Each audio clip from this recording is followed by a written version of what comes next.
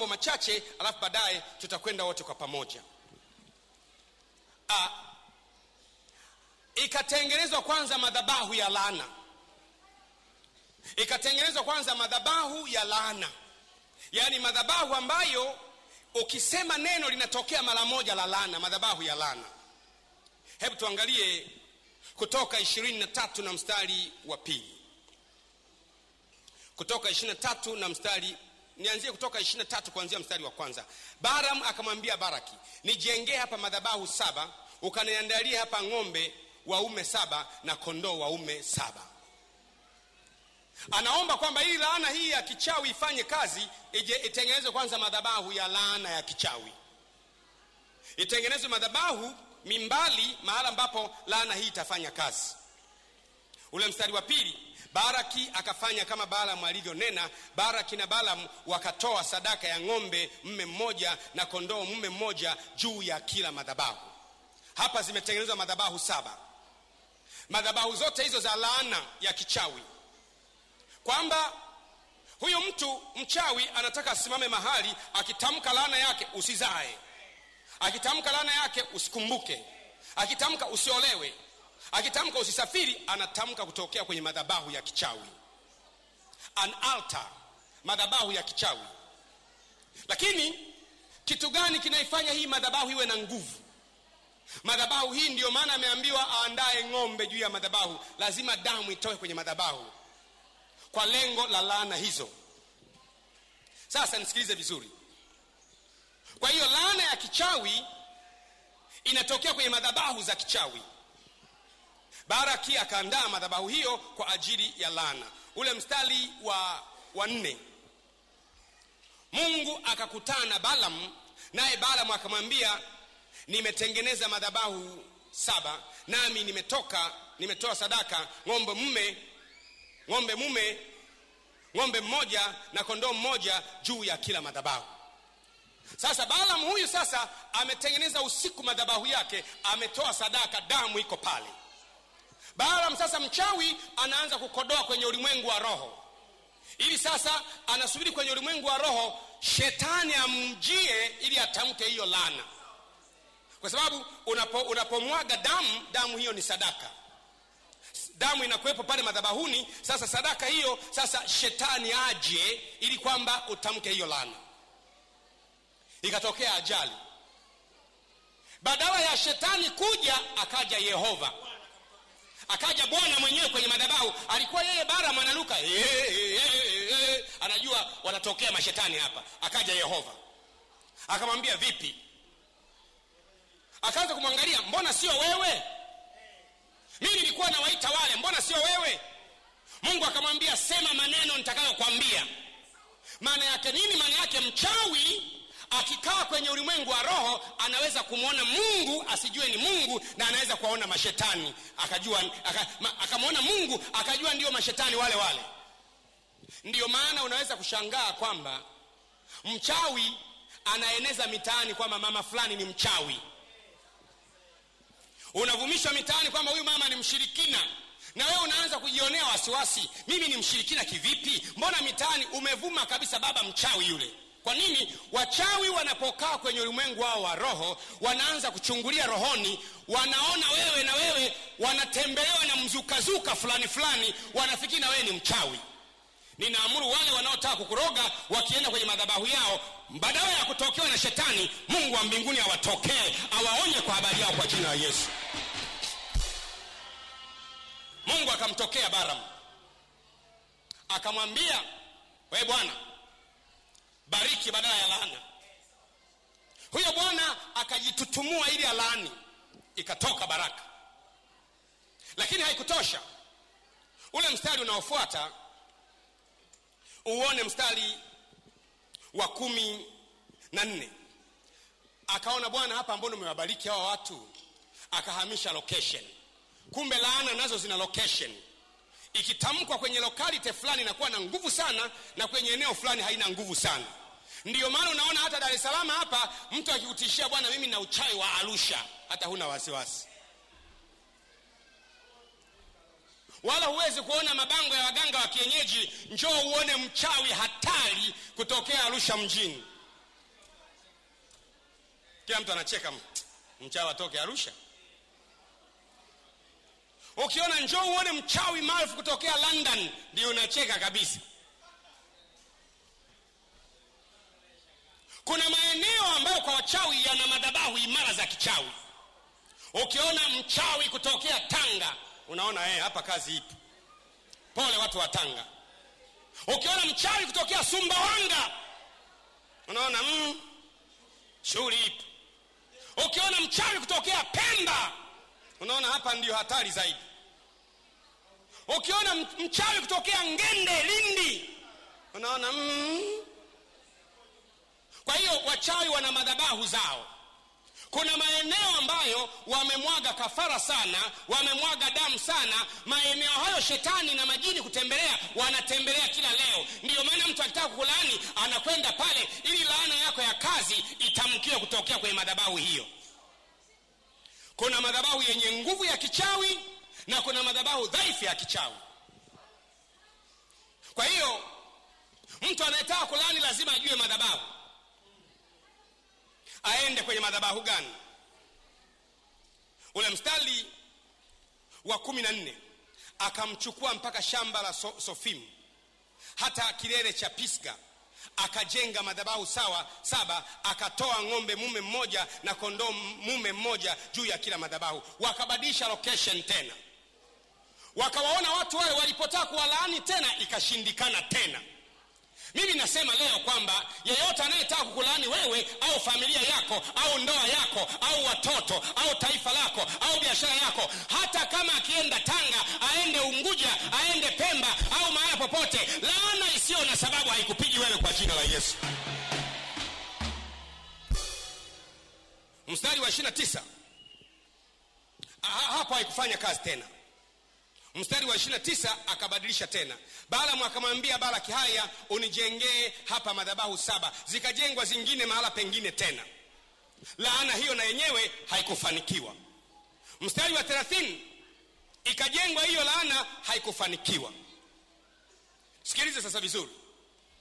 Nimekuonyesha kwamba kuna, kuna madhabahu ya, kuna laana ya kichawi inayotolewa kwenye madhabahu ya wachawi. Wiki iliyopita nilielezea nini maana ya neno madhabahu madhabahu ni eneo ambalo wachawi wanakusanyika. Wachawi wa sinza wanakusanyika kuloga kwenye eneo lao wachawi wa mwananyamala wachawi wa mbezibichi wachawi wa mikocheni wachawi wa city center wachawi wa, wana maeneo yao. Lile eneo wanalokusanyika linaitwa madhabahu ya wachawi. Wanamwaga damu alafu maneno wanayoyasema hapo wanategemea yampate mtu kama laana. Hebu sema katika jina la yesu. Laana ya wachawi iliyotamkwa mahala popote haitanipata mimi kwa jina la yesu. Tamka tena kwa jina la yesu. Laana ya wachawi kutokea madhabahu ya laana haitanipata mimi kwa jina la yesu. Sasa kidogo niongee kwa habari ya aina za madhabahu. Kuna madhabahu za aina mbalimbali. mbali na kila madhabahu inatoa laana ya aina yake kulingana na jina la madhabahu lenyewe. Mfano kwenye kitabu cha mwanzo sura ya kumi na mstari wa saba. Mwanzo sura ya kumi na mbili na mstari wa saba. Imeandikwa bwana akamtokea abramu akasema uzao wako nitawapa nchi hii. Naye huko akamjengea bwana akamjengea madhabahu bwana aliyemtokea abrahamu ametokewa na bwana. Yule bwana aliyemtokea anamwambia uzao wako nitawapa nchi hii. Akajenga madhabahu. Madhabahu hiyo ni madhabahu ya miliki ya ukoo. Kwamba ukoo wetu tumeshapewa eneo hili inajengwa madhabahu. Ili mradi madhabahu hiyo ipo nchi hiyo hamtanyang'anywa kwa sababu umepewa na bwana. Ndiyo ule ule ugomvi uliopo kati ya waarabu pamoja na wayahudi kwa nini? Kwa sababu waarabu wayahudi ile eneo walijenga madhabahu ya miliki ni ya kwenu kuanzia leo. Kwao kuna madhabahu ya miliki. Unajenga madhabahu kwamba kitu hiki na kimiliki mimi milele na milele. Ndiyo maana kuna koo zingine zimejengewa madhabahu ya kumilikiwa. Ukoo umejengewa madhabahu ya kumilikiwa na umaskini. Kumilikiwa na magonjwa ya aina fulani fulani. Kumilikiwa na balaa za aina fulani fulani kumilikiwa na mikosi ya aina fulani fulani familia zina matatizo yanayofanana. Kwa sababu kuna kuna madhabahu inayomiliki familia ile. Hebu sema kwa jina la yesu. Madhabahu ya ukoo inayomiliki familia yetu na ivunjilia mbali kwa jina la yesu. Kwa hiyo kwa hiyo madhabahu ya ukoo abrahimu anaambiwa nchi hii nitakupa wewe pamoja na uzao wako maana yake kuanzia leo hii ni ya kwako na anajenga madhabahu. Madhabahu hiyo inapoendelea kuwepo ni kwamba hii ni ya kwako ili mradi madhabahu ya miliki ipo hili jambo litaendelea kuwa la kwako. Ndivyo ilivyo sasa. Salama lakini kule kijijini ulikotoka kuna madhabahu ya miliki. Unamilikiwa na magonjwa unamilikiwa na laana unamilikiwa na kifo unamilikiwa na balaa unamilikiwa na ajali unamilikiwa na matatizo ya kila namna madhabahu ipo kule kijijini. Unaweza kucheza cheza na kufanya ujanja mpaka ile madhabahu itakapobomolewa utaona umeachiwa huru. Hebu sema tena kwa jina la yesu. Madhabahu ya kumiliki afya yangu watoto wangu familia yangu naibomoa kwa jina la yesu. Naibomoa kwa jina la yesu. Madhabahu ya kumiliki watoto wangu naibomoa kwa jina la yesu kwa hiyo kuna madhabahu za aina mbalimbali mfano kuna madhabahu moja kwenye kitabu cha matendo ya mitume yenyewe ni ya vitu mbalimbali mbali. kuloga sawa laana sawa kuna madhabahu nyingine yenyewe ina vitu mbalimbali mbali. matendo ya mitume sura ya 17 na mstari wa 23 madhabahu za vitu mbalimbali mbali. yenye ina, ina, ina laana mchanganyiko madhabahu yenye vitu mbalimbali. Ina loga mchanganyiko. Matendo ya mitume 17 na mstari wa 23 kwa sababu nalipokuwa nikipita huko huko, na huko na kuyaona mambo ya ibada zenu naliona madhabahu imeandikwa maneno haya kwa mungu asiyejulikana. Hebu sema kwa mungu asiyejulikana. Aliona madhabahu ambayo yenyewe inapiga mchanganyiko. Ukilogwa ukoma hapo sawa ni madhabahu iko neutral. Ukilogwa udhaifu unakuwa mdhaifu. Nataka nikwambie hivi. Nikwambie hivi. Ndiyo maana wana wa israeli walipoingia katika nchi ya ahadi jambo la kwanza ambalo mungu aliwaambia ni kubomoa madhabahu zao. Hebu sema bomoa madhabahu zao. Hebu sema bomoa madhabahu zao. Hapa kuna madhabahu imekutwa hapa athene hupo ugiriki. Paulo anaangalia hivi anaangalia hii ni madhabahu gani? Imeandikwa kwa mungu asiyejulikana. Yaani mungu wa madhabahu hii hajulikani ni nani. Ina maana inategemea kuhani anataka kufanya nini wa madhabahu hii. Kwa hiyo kama nilivyosema kuna madhabahu zenye roho za watu. Kuna madhabahu ambayo unaikuta ni madhabahu lakini imelaza roho za watu. Madhabahu za madhabahu za kuweka roho chini yake inakuwa ni madhabahu imetengenezwa na wachawi alafu mtu anawekwa pale. Roho yako inalazwa pale madhabahuni. Unakuwa mtu upo tu yaani upo tu unamwona mjanja kweli kwenye baadhi ya mambo pakifika kwenye mambo ya kufanikiwa mjinga kuliko wote. Ufunuo sura ya sita na mstari wa tisa.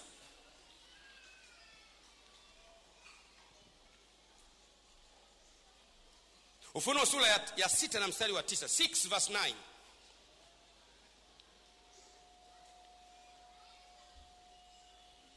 na alipoifungua muhuri ya tano nikaona chini ya madhabahu roho zao waliochinjwa kwa ajili ya neno la mungu na kwa ajili ya ushuhuda waliokuwa nao. Of course hii ni madhabahu ya mbinguni. Inaonyesha roho zao waliochinjwa zimelazwa chini ya madhabahu. Cha kujifunza ni kwamba kumbe roho ya mtu inaweza kulazwa chini ya madhabahu. Hebu sema roho imelazwa chini ya madhabahu roho imelazwa chini ya madhabahu kwa maana kwamba umezuiwa kuamka. Umelazwa umezuiwa kuamka. Umezuiwa kuchangamkia mambo fulani fulani kwenye maisha. Kuna mambo ambayo unahisi unatakiwa yachangamkie ili ufanikiwe huwezi kuyachangamkia. Roho imelazwa kwenye madhabahu mahali fulani. Hebu sema kwa jina la yesu. Aliyenilaza usingizi kwenye madhabahu ya kichawi ninakataa kwa jina la yesu. Madhabahu yeyote iliyolaza akili iliyolaza taifa iliyolaza ndoa iliyolaza watoto iliyolaza ukoo iliyolaza familia iliyolaza afya yangu iliyolaza watoto wangu kwa jina la yesu mtu yeyote aliyeniloga akanilaza kwenye madhabahu ya wachawi njia panda baharini polini jangwani kuanzia sasa. Naibomoa madhabahu hiyo kwa jina la yesu. Ninaibomoa madhabahu hiyo kwa jina la yesu. Amen. Kuna madhabahu za ushindi. Kuna madhabahu ya ushindi au kushindwa. Ukisoma kwenye bibilia kwenye kitabu cha mwanzo sura ya 20 33 mstari wa 20 genesis 33 and verse 20 the book of genesis chapter 33 and verse 20 akajenga huko madhabahu.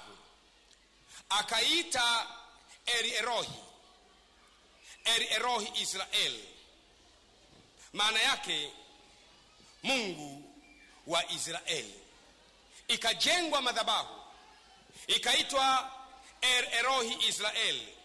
Maana yake ni mungu mungu wa Israel. umeona madhabahu hii na jina. Jina la madhabahu linaitwa el elohi israel. Maana yake ni mungu wa israeli madhabahu ina jina mungu wa israeli maana yake ni nini? Mungu alikuwa na mtu mmoja kuna mtu mmoja alikuwa anaitwa yakobo. Yakobo siku moja akakutana na malaika akashindana na malaika akashinda aliposhinda jina lake likabadilishwa akaitwa israeli. Maana yake aliyeshindana na bwana akashinda. Kwa hiyo israeli maana yake ni aliyeshindana akashinda. Kwa hiyo hii ni madhabahu ya ushindi. Madhabahu ambayo imetengenezwa mahali kuna mtu anakwenda kumwaga damu ya ushindi. Anamwaga damu ili apate ushindi. Madhabahu ya ushindi.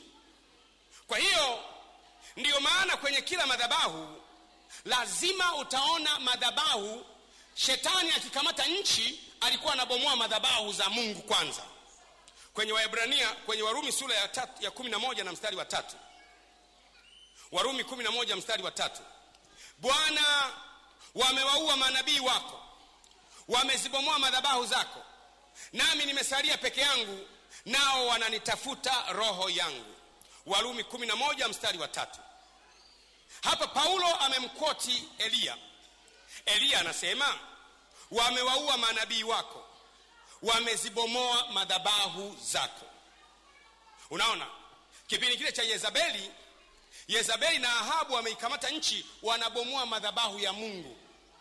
Kubomoa madhabahu ya mungu maana yake ni nini? Neno madhabahu maana yake ni daraja linalotoka ulimwengu wa mwili kwenda ulimwengu wa roho unaposema madhabahu imebomolewa maana yake kwenye nchi ile watu wameshachafuliwa. Hakuna mtu tena aliye na uhusiano na mungu mwenye uwezo wa kutoa majibu kwa watu. Hakuna there is no link. Ungekuwa unajua.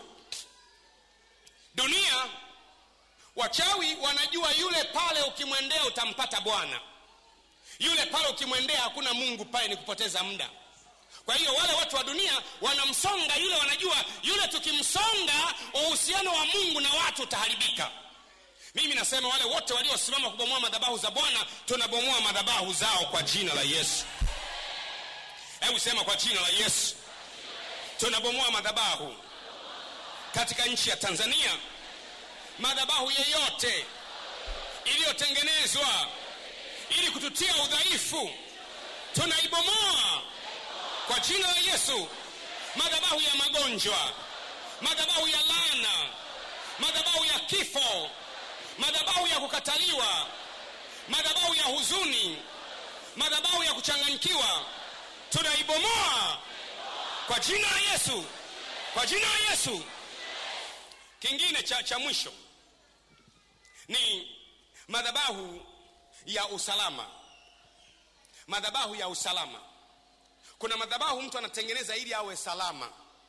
Utawala wake uwe salama biashara yake iwe salama kazi yake iwe salama familia yake iwe salama. Ndiyo hawa watu unaona ni familia imezindikwa ili kusudi mkien, mkiendaga kule mjini msije mkaonewa na watu. Wewe unatoka nyumbani kwako kule kiela unatoka iringa unatoka kule lujewa au ludewa unaitwa na mtu bwana hebu njoo hapa babi yako mnakwenda mjini uwe unatumia haka kakusaidiage maana kule unakwenda kwenye nchi ya ugeni. Ukaja na kale kakitu ka, ka, ka, kale. Na, na, na, na, na unako bado unasema ule sio uchawi ni ulinzi. Ni madhabahu ya ulinzi wa kichawi ambayo baadaye ikianza kukurudi mtakatika mmoja mmoja mpaka mtafunga mlango hakuna ambacho shetani anayechotoa cha bule kwa shetani ni ufalme wa kuumbuana. Ufalme wa shetani msingi wake ni kuumbuana. Ni kama hivi. Mwangela kwa mfano mwangela ni mchawi. Anapewa uchawi mwingi wa kujilinda. Mimi nikija kumwangia naumbuka kwa sababu yeye analindwa na mashetani mashetani yake yananiumbua mimi. Yakiniumbua mimi na mimi nakwenda kwa shetani kutafuta dawa zaidi. Ili nipate dawa naambiwa bwana mtoe mwanao. Na mimi namtoa mwanangu. Nikimtoa mwanangu napewa nguvu nyingi na mimi nakwenda kumuumbua mwangela. Nikifika pale naye namuumbua nikimuumbua na yeye naye anakwenda kwa shetani. Anaambiwa na yeye na wewe toa mwanao naye anatoa mwanaye. Mnakwenda hivyo mpaka wote mnateketea. Baadaye unaambiwa basi ume, ume, ume, umeishiwa vya kutoa. Basi njoo wewe. Njoo wewe. Unaliwa wewe mwenyewe yani wewe mwenyewe live. Unamwona mtu mwingine aliyekuwa mchawi ni mgonjwa siku hizi amekosa cha kutoa. Kwenye familia vitoto vyote vimeokoka. Akikafata katoka kwa jina yesu inashindikana ukatoa. Anamfata mjomba kwa jina yesu. Familia wanaokolewa na ndio maana ni muhimu sana kabla hujalala wawekee ulinzi wanafamilia wako kwa damu ya mwanakondoo. Anayetaka kuwatoa mchawi wa ukoo ashindikane kabisa. Na mimi naamuru kwa jina la yesu mchawi wa ukoo wenu naamuru aumbuke kwa jina la yesu. Aliwe yeye atoke yeye ateketee yeye. Inakuwaga hivyo. Unaona huyo mpaka anaishiwa. Alafu anahaa kweli jamani nitamtoa nani? Kwenye familia watu vimeokoka vitoto vidogo. Akijaribu kafata usiku kadogo hata ndotoni kwa jina yesu! Kanamtoa balu. Nakumbuka vizuri sana. Bi, bibi mmoja alikuwa hapa. Pasta ananikumbusha bibi mmoja alikuwa hapa. Akaishiwa vya kutoa. Akatoa mpaka akamaliza akaanza kujifanya rafiki na, na, na, na kabinti kamoja kalikuwa haka kumba anakanyemelea ili akatoe. Et, eti anafanya hivi ana, anatafuta undugu maana yeye ameambiwa utoe ndugu ndugu alishawamaliza. Anatafuta kukwambia sasa unajua wewe ni ndugu yangu baba yako na baba yangu tulioleanaga. Sasa baada ya kuoa anatafuta undugu ili kapate sifa za kukatoa. Kakamgundua kakamumbua hapa hapa siku moja wewe bwana huwezi kunitoa. Na mi nasema hivi yeyote anayetaka kutoa mwanao au mtoto au baba au ndugu au shangazi kwa ajili ya ushindi wa uchaguzi au kwa ushindi wote wanaotaka kutolewa wote. Na wazuia kwenye ulimwengu wa roho kwa jina la yesu. Na wazuia kwa jina la yesu. Hebu sema amen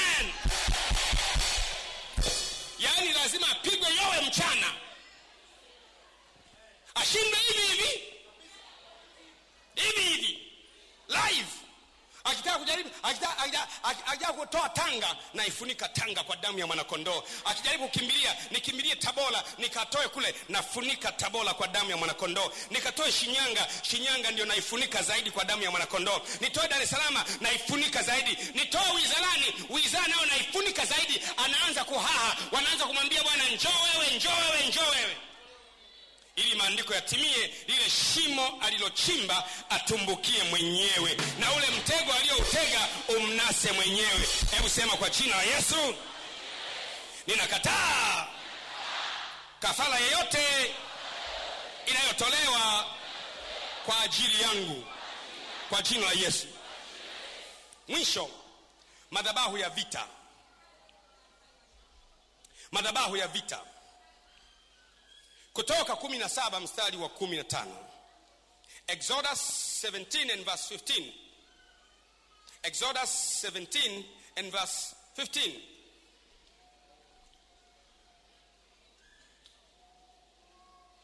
musa akajenga madhabahu. Akaita jina lake jehova nis. Jehova nis maana yake bwana ni bendera yangu akasema bwana ameapa. Bwana atakuwa na vita na amaleki kizazi baada ya kizazi. Hebu sema bwana ameapa. Atakuwa na vita na amaleki wa tanzania kizazi baada ya kizazi. Rudia tena bwana ameapa. Atakuwa na vita na amaleki wa tanzania kizazi baada ya kizazi. Jamaa akajenga madhabahu. Alipo, al, bwana alipomtokea bwana akasema nimeapa. Nitakuwa na vita na amareki kizazi baada ya kizazi. Jamaa akajenga madhabahu ya vita.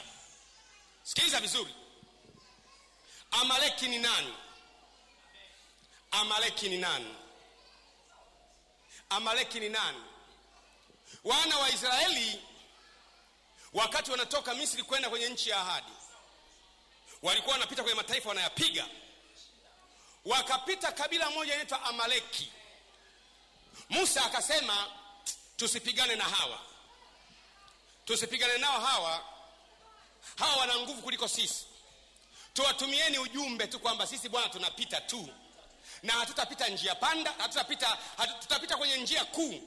Akasema hatutakunywa maji yenu wala mzabibu wenu wala tini zenu tunapita tu kwa njia kuu tunaelekea kwetu. Tunapita tu. Hatuna lolote ni kupita tu. Hatupigani na nyie hatuwaharibii ufalme. Sisi tunapita tu. Ni kupita tu basi. Yaani hamna zaidi ya kupita tu. Hatuna haja na mtu hatugombani na mtu hatuna vita na mtu. Tunapita tu kwenye tanzania mpya inayokuja. Sisi ni kupita tu yani ni kupita tu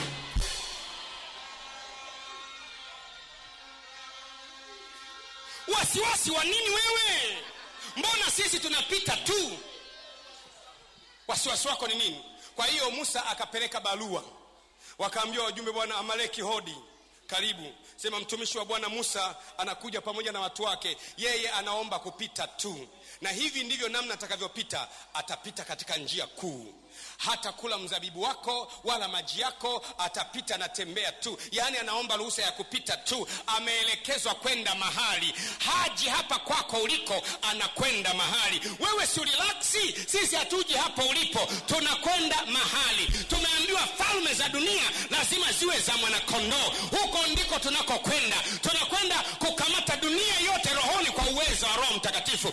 Sio kwamba tunakuja kwako. Wewe tulia acha mawaluwalu. Tulia vizuri tunakwenda mahali. Sisi tumeitwa kwa ajili ya uamsho wa dunia yote. Nakwambia hivi niliona tanzania imetikiswa na uwezo wa bwana. Niliona tanzania wahubiri wanaamka wasio wa kawaida. Sio wa madhehebu yetu tu tanzania yote. Kuna kizazi kinakuja ambacho kitatembea katika nguvu za bwana kwa uwezo usiokuwa wa kawaida. Kutoka madhehebu yote makanisa yote utukufu wa nyumba ya mwisho utakuwa mkubwa kuliko utukufu ule wa kwanza. Nataka niongee na mtu. Kuna uamsho uko mlangoni. Unaanza kutembea unaanzia kwenye taifa hili. Uamsho ule utaswaga kila mbunge utaswaga kila waziri utaswaga kila mwenyekiti wa serikali za mitaa. Hautabakiza hata mmoja.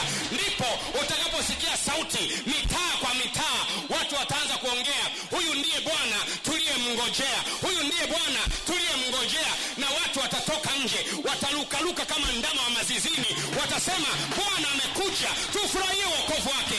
Tanzania itaokolewa kenya itaokolewa uganda itaokolewa burundi itaokolewa zambia itaokolewa afrika itaokolewa asia itaokolewa japani itaokolewa saudi arabia itaokolewa indonesia itaokolewa yemen itaokolewa japan shall wokovu wa bwana unatembea unapenya kwa waarabu unaenda israeli unaenda kila mataifa. Ndipo dunia nzima itashangaa. Baada ya uamsho huo tanzania yote imemezwa na moto wa bwana. Baada ya uamsho huo ndiyo biblia inasema watu watashangaa. Sawa kufumba na kufumbua wakati wa parapanda ya mwisho. Maana parapanda italia. Nao waliokufa katika kristo watafufuliwa kwanza. Nasi tulio hai tutabadilishwa. Maana sharti tuvue mwili wa kuharibika. Tumae wa hewani turudi kwetu.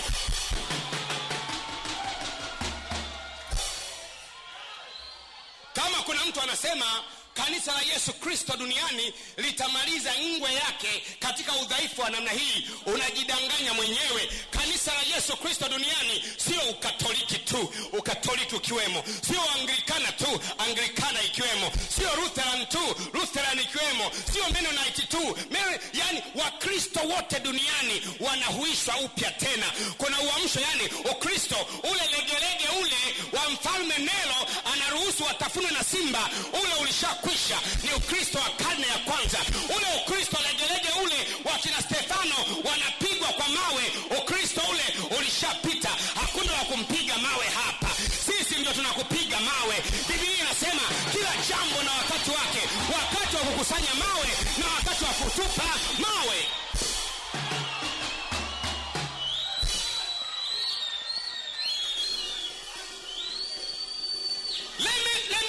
something my brother.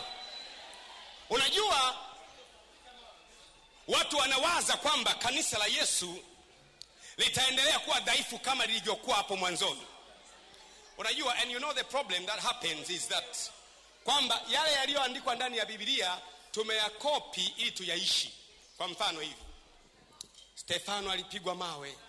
Kwa hiyo nawewe ikitokea huko sokoni unapigwa jue moja unasema tu oh baba stefano alipopigwa mawe akainua macho mbinguni. Na wewe eti na wewe unainua macho mbinguni hauoni kitu stefano aliona mlango umefunguka mbinguni akamwona mwana wa adamu ameketi mkono wa kuume. Wewe unainua macho hamna kitu. Unaanza kujiuliza mbona mwenzangu alipoinua macho aliona mungu, mungu ame, yesu amesimama mkono wa kuume? Sio wakati wa stefano huyu. Haya mambo ya stefano yameandikwa ili wewe usipigwe mawe ili ujue cha kufanya. Hiki ni kizazi cha tofauti kabisa. Ni kizazi cha agano jipya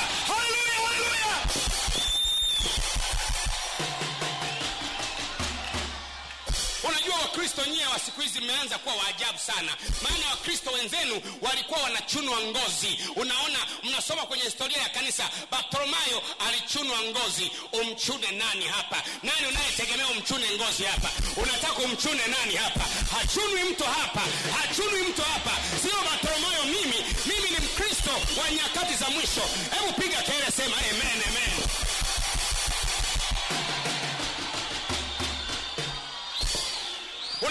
sio kama wakristo kabisa. Hamjifunzi kwenye historia ya bibilia unajua kabisa uh, petro alisurubishwa kichwa chini miguu juu amenyamaza tu. Wanamnyanyua yuko kimya tu. Eti unategemea na mchungaji wa jima na yeye umnyanyue yuko kimya tu. Ametulia kimya tu. Basi kama akitulia kimya yeye ni mtume paulo. Mimi sio mtume paulo wala sio mtume petro mkristo wa agano jipya. Ni mkristo wa saa ya ufufuo na uzima. Mpigie bwana makofi haleluya mtu anasema hapana unajua nyewe wa siku hizi imekuwa watofauti. Haujasoma historia kwa kawaida. Unajua paulo alikatwa kichwa. Paulo akakatwa kichwa. Kwa nini msisubiri mkatwe kichwa? Mi nataka kukwambia hivi hukati kichwa mtu hapa. Hapa sisi wewe ndio tunakukata kichwa. Tuna, ni, ni, ni, ni, kanisa, ni kanisa la agano jipya. Tunakukata wewe kwa jina la yesu wakristo gani hapa hata historia hawaijui? Hawajasoma kifo cha matayo matayo alikwenda kule ugiriki akaburuzwa kwenye gari mpaka akafa. Simtulie mburuzwe. Umburuze nani hapa? Sisi tumeyasoma hayo ili tusiburuzwe. Hatuwezi kuchomwa mikuki kama alivyochoma tomaso kule ugiriki. Hapana mimi nayaweza mambo yote. Katika yeye anitiaye nguvu. Mungu kwangu ni mungu wa kuokoa. Na njia za kutoka mautini zina yeye simameni mkauone wokovu wa bwana atakaowafanyia wale mnaowaona wale saa ya mungu wetu ni saa ya maajabu ni saa ya ufufuo ni saa ya utukufu wa bwana duniani. Hapigwi mtu hapa hauliwi mtu hapa hanyweshi sumu mtu hapa nywesha sumu zako utachoka. Maandiko matakatifu yanasema waziwazi hata kama mkinywa kitu cha kuzuru hakitawadhuru kabisa. Mtaweka mikono juu ya wagonjwa nao watapata afya.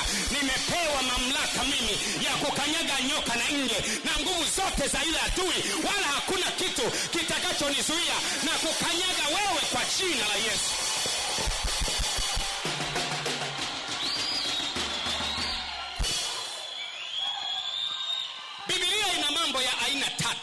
jambo la kwanza imetufundisha lile ambalo lazima tulifanye. Jambo gani hilo? Iweni watakatifu kama baba yenu wa mbinguni alivyo mtakatifu. Jambo la pili hamkosi kuzitambua hila yake. Imeandikwa ili tutambue ujanja ujanja anaotumia adui katika kutushambulia. Jambo la tatu imeandikwa kwa sababu kuna wa, walokole wenzetu walifanya makosa. Yameandikwa makosa hayo ili sisi tusiyafanye kama wao. Jambo la nne ili haya yote matatu tuyakusanye pamoja. Alafu baadaye tuseme lile ambalo halikutimia kwa mikono ya petro basi litimie kwa mikono yangu. Lile ambalo halikutimia kwa mikono ya paulo litimie kwa mikono yangu. Kwa taarifa na utukufu wa bwana kama ambavyo maji yaijazavyo bahari. Nakwambia tanzania inajaa utukufu wa bwana siku chache zijazo. Tanzania inajaa utukufu wa bwana. Ni saa ya ufufuo na uzima. Haleluya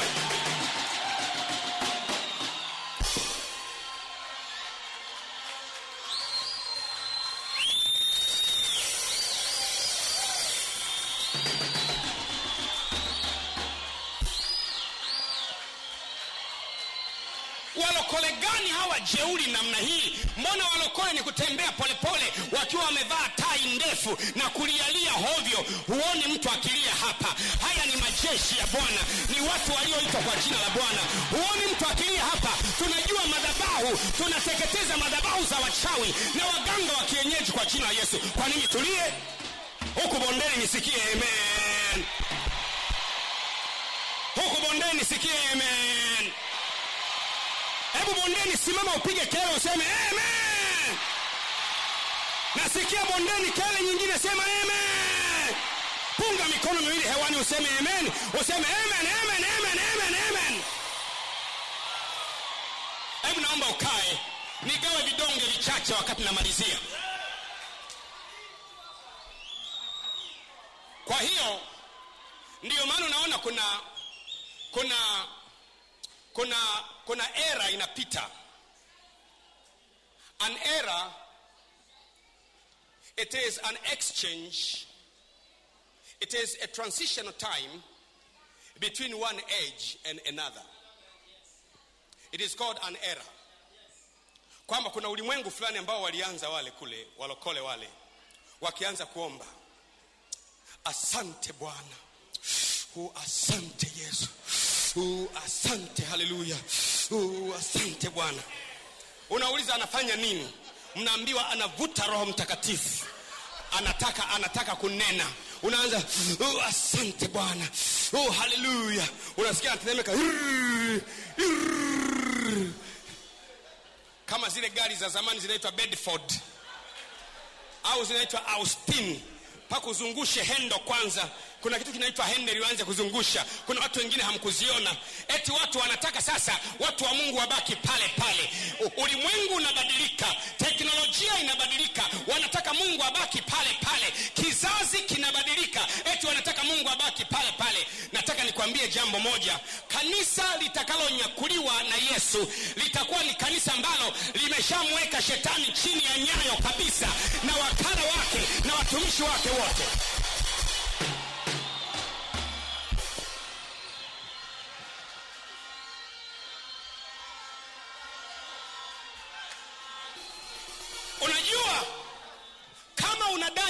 mtu wa mungu. Lazima wakujaribu kukuua wapatikane. Wanajaribu kuua kwa namna mbalimbali mbali, kwa sumu kwa maneno kwa dawa kwa majambazi kwa usingizio kwa kesi kwa ni, lazima wajaribu kukuua. Watakapoona hufi wanaanza kujiuliza sasa hafi kivipi? Wanaanza kutoa majibu sasa inakuwaje huyu hafi? Wanaona kabisa hii tulilomtandika nalo hili limepelekwa tuliyemtuma ni mtu anayejua anayejua unga unga ule mzuri. Ukimgusa mtu tu haamki kutoka icu wanajua unga huu ni ule mzuri imekuwaje? Wanapoona tu wewe upo tu yani na unga wao unakwenda tu unasema mimi sitakufa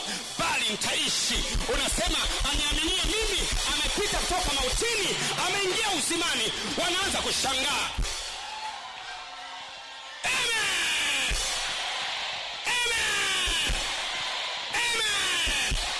Hivi ndivyo mungu atendavyo kazi. Mungu ni wanamna hiyo wa, anawaruhusu watafute unga mbalimbali mbali, na sumu mbalimbali na uchawi mbalimbali mbali, na madunguli mbalimbali mbali, na hirizi mbalimbali. Wameloga wewe mpaka wakachemsha ungejua umerogwa na watu wangapi ungeshangaa sana. Umelogwa na ukoo mzima umelogwa na ofisi nzima umelogwa na wizara nzima. Yote inakuloga wewe lakini kila wakiloga wanachanganyikiwa. Kwa nini huyu mtu afi waambie neno moja tu. Mimi mnayeniona sitakufa bali nitaishi. Nimepita kutoka mautini nimeingia usimani mimi ni mwana wa ufalme mimi ni mwana wa mungu. Na ukimaliza waambie hafi mtu hapa hafi mtu kwa jina la yesu. Waambie hafi mtu na sehemu zingine. Sema kwa jina la yesu. Kila aliyeandaa kifo kwa ajili yangu atakuwa wa kwanza kufa. Watu wote walio watu wote walionitunishia misuri mimi unamwona mtu kabisa bila kujua anatunishia misuri mhubiri. Anasema wacha nimkomeshe. Anatunisha misuri unamwona anaanza kupiga push up zake. Anaanza push up ya kwanza ya pili ya tatu ya nne ya tano. Anatunisha misuri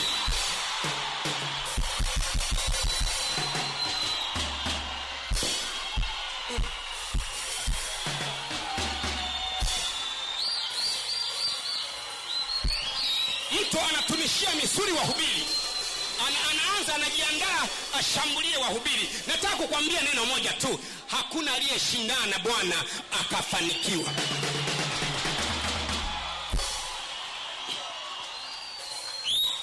Hebu nisikie amen kubwa jamani.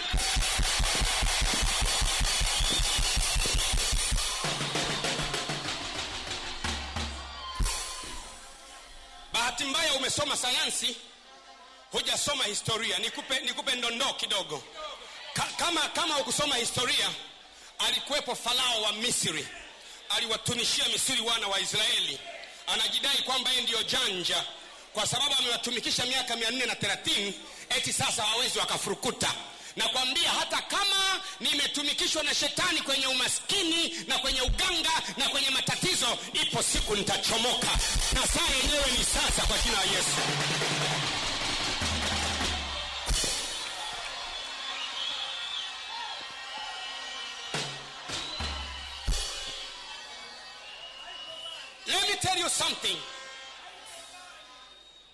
When you're gonna go out, that is matter. When you're gonna go out does not matter. But the fact remain, you will go out when the time comes to go out. lini utatoka mahala ulipo haijalishi ni lini lakini ukweli unabaki kwamba akitaka utoke utatoka kwa jina la yesu utatoka kwa namna gani hiyo haikuhusu utatoka kwa mguu utatoka kwa ndege utatoka kwa gari watakufukuza wenyewe na watakupa na mali za kuanzia maisha kwa jina la yesu. Kama hujasoma historia muulize farao wa misri. Walipoondoka wale watu wa mungu wakamwacha yeye amezama baharini anaelea. Kama farao hakutoshi muulize herode. Herode alipoona vizuri watu wakamwambia sauti yako ni kama mungu. Biblia inasema malaika wa mbinguni akamshukia akampiga akaliwa na chango. Kama haikutoshi hiyo muulize mfalme nebukadnezar aliyewashirikia shikilia wana wa israeli akawatesa. Akatokea mtu mmoja danieli akamwambia tazama e mfalme haya ndiyo bwana anayosema. Utachukuliwa miaka saba utakaa jangwani moyo wako utageuzwa utakuwa kama mnyama utaota makucha na nywele zako zote na mwili wako wote utakuwa kama mnyama. Alipomaliza kusema mfalme nebukadnezar akatoka ndani ya jumba lake akawa kama mnyama akakaa nje miaka saba. Miaka saba ikapita anakula kama mnyama ameota makucha marefu mpaka baada ya miaka saba. Biblia inasema mimi Nebukadneza nilipokuwa porini miaka masaba ndiyo nikatambua kwamba mungu wa mbinguni ni mungu anayeishi. Alipotambua hivyo akaamua kurudi nyumbani. Saa imefika anayekupiga vita atambue kwamba mungu wa mbinguni ndiye mungu anayeishi. Saa imefika anayekutukana ajue mungu wa mbinguni yeye ndiye anayeishi hebu piga kelele sema mungu anaishi mungu anaishi mungu anaishi mungu anaishi mungu anaishi mungu anaishi. Ndege wa baharini waseme mungu anaishi. Wanyama wa kondeni na waseme mungu anaishi. Mimea iseme mungu anaishi. Bahari na mapoli yaseme mungu anaishi. Na hakuna jambo gumu la kumshinda yeye. Nataka nyumba yote nzima iseme amen. Kaa kidogo sasa sema eh. kwa hiyo nime, nimezipa majina kila madhabahu. Majina hayajatosha. They are simply not enough. Nilikuwa naongea na mwanasiasa mmoja wiki iliyopita. Akaniambia gwajima kwa nini wewe una ujasiri wa namna hiyo? Kawambia mheshimiwa ni swali zuri. Hilo ni swali zuri nikamwambia kimsingi wote walitakiwa wazidi mimi ila wamelogwa.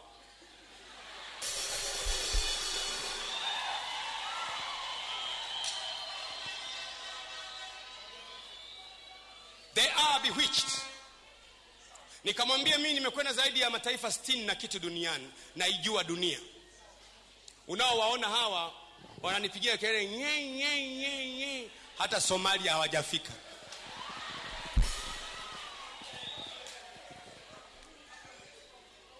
wamesoma mlimani shule ya msingi wakaendaenda wakamaliza darasa la saba. Wakaingia pale pale mlimani pale Lwega- lwegalulila sekondari pale wakasoma mpaka form